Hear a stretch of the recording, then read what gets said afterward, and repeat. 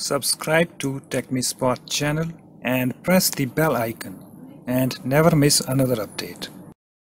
Hi guys, in this tutorial I'm going to show you how to delete your IMO account permanently on Android. Okay, so what you need to do just open your IMO app and log into your IMO account. Okay, so you can see that I'm already logged in and after that guys what you need to do just tap on this three bars at the bottom left and after that tap on this settings. And you need to scroll down. And here we have the IMO account settings. Just tap on this.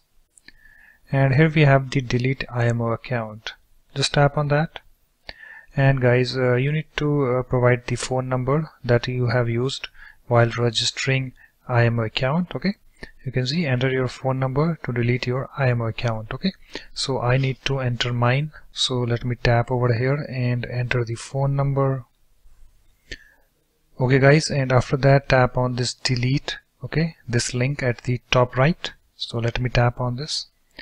Okay and please give us some feedback okay? So if you like you can just tap over here and give them the feedback. So I am typing this not using much. You can type yours. Okay. And after that tap on this delete link at the top right. Okay. And here we have the pop-up delete IMO account. Your IMO account will be deleted. Continue anyway. Okay. So just tap on this uh, yes link on the pop-up. So let me tap on this yes link. And you can see your account has been deleted the message so that's it guys. Thanks for watching. In this way you can easily delete your IMO account permanently on Android